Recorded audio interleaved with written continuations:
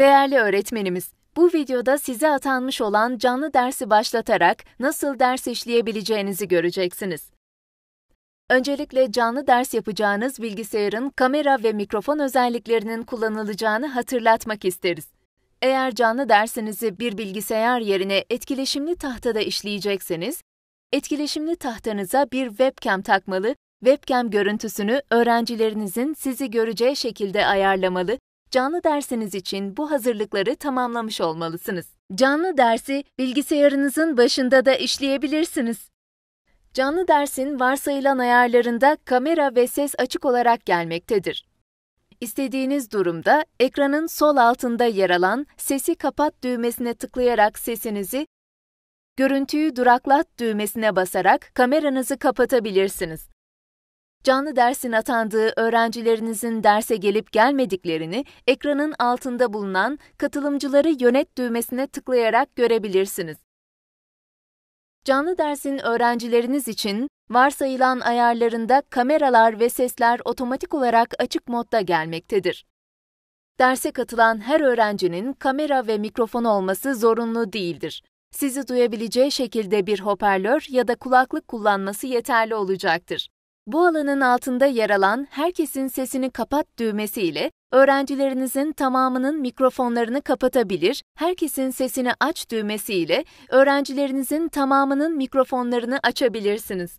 İsimlerin yanında görülen sesi aç düğmesi ile sadece seçtiğiniz öğrencinin bilgisayarının sesini açıp kapatabilir, seçtiğiniz öğrenci ile ilgili yapabileceğiniz diğer işlemler içinse fazlası düğmesine tıklayabilirsiniz.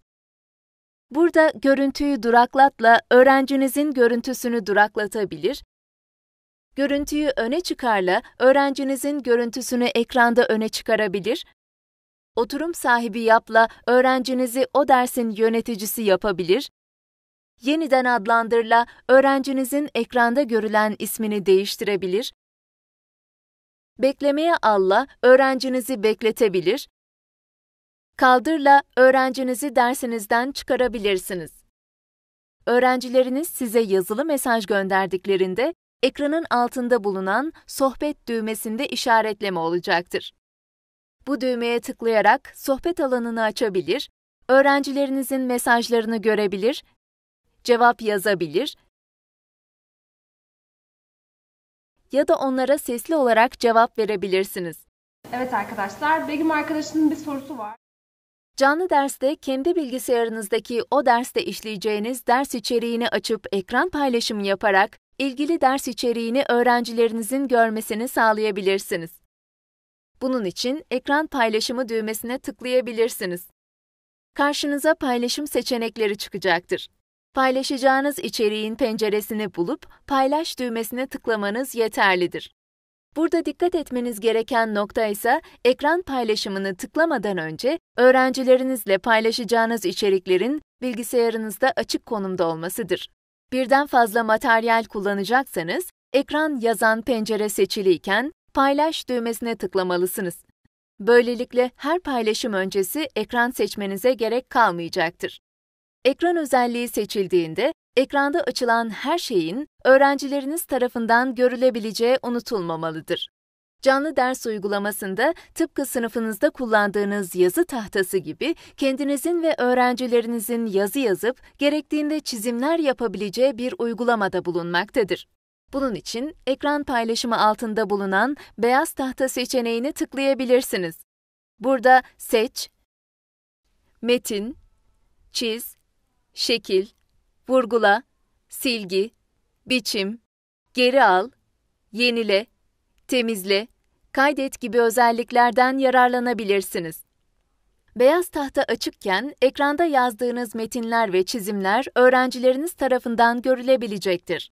Ayrıca istediğiniz bir öğrenciniz sizin ekranınızda metinler yazabilir, çizimler yapabilir, canlı dersteki sınıf arkadaşları da bunları görebilir.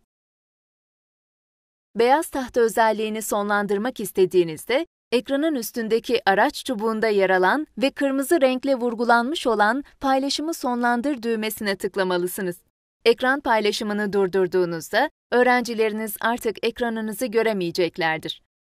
Ayrıca ekran paylaşımı özelliğiyle tıpkı sınıfınızda etkileşimli tahta yardımıyla yaptığınız gibi İlkini ben yapıyorum. EBA ders içeriklerini öğrencilerinizle paylaşabilirsiniz. Canlı ders uygulamasında ekran paylaşımı seçeneğiyle kendi hazırladığınız ya da araştırarak dersinizde kullanmayı uygun gördüğünüz dijital ders içeriklerini öğrencilerinizle etkileşimli bir şekilde paylaşabilirsiniz.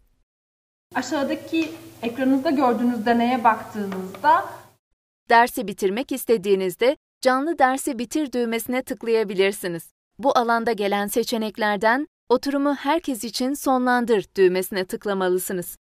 İyi dersler dileriz.